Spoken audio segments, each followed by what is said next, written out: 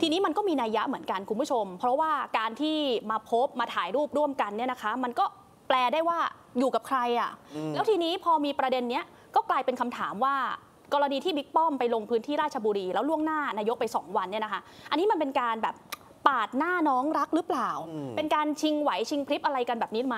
เมื่อวานเนี้ยนักข่าวไปเจอตัวบิ๊กป้อมพลเอกประวิตยวงษ์สุวรรณก็เลยไม่พลาดที่จะถามคำถามนี้นะคะ ว่าบิ๊กป้อมไปลงพื้นที่ก่อนนายก 2 วันน่ะปาดหน้าไหม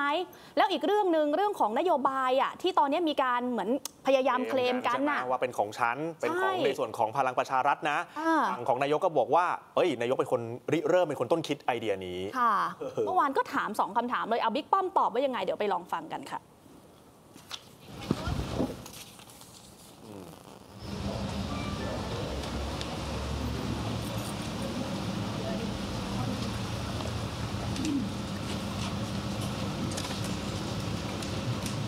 ท่านคะมีการมองกันว่าการลงพื้นที่ของท่านไป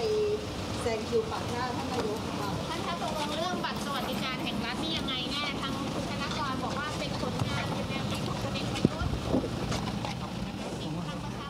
นี่ค่ะ ไม่ตอบเลยค่ะอืมแต่สายหน้าอย่างเดียวแล้วก็ขึ้นรถไปเลยอืมอืมก็เป็นประเด็นที่ก็ยังต้องถามกันต่อเนี่ยนะครับค่ะคือก่อนหน้าก็รายงานกันว่าอาการปาดหน้ากันลงพื้นที่กันก็เหมือนกับว่าไปดึงไปรั้งอ่าไปคุยให้อยู่ต่อนะใช่อย่าค่ะเพิ่งไปไหนนะกับกลุ่มคน